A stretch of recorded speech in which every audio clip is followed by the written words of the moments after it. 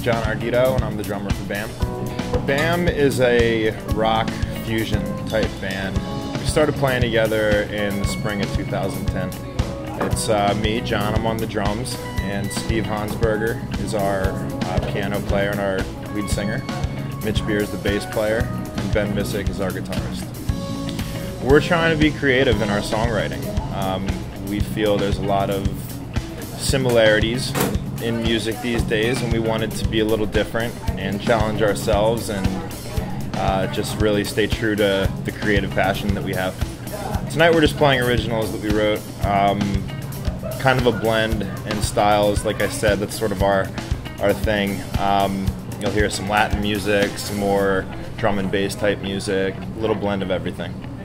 My name's John Ardito. I'm the drummer for BAM, and we are raw artists.